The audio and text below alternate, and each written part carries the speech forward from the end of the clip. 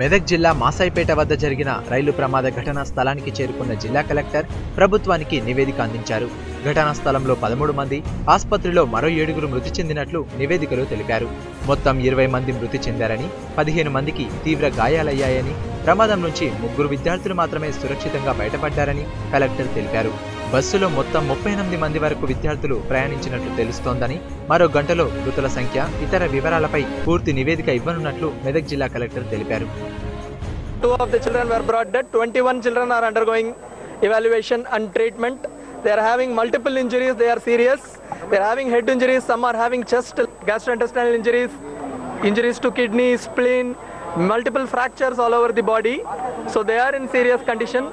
Some have been shifted to the intensive care units. Some are being evaluated still in the casualty. All the investigation, CT scan, X-rays, every, ultrasound, everything is being performed.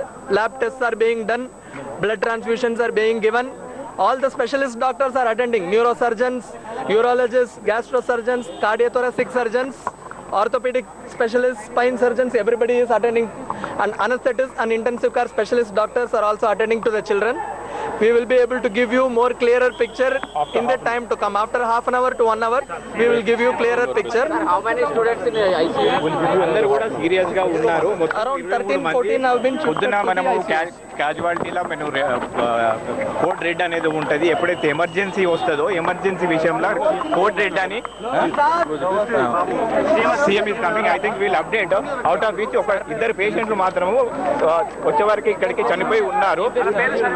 పేర్లు ఇంకా మనకు details తెలియదు but ఇరవై ఒక్క పేషెంట్లు మాత్రము వేరే వేరే సపరేట్ వార్డులకు ఆల్ అక్యూట్ వార్డులకు షిఫ్ట్ చేశారు.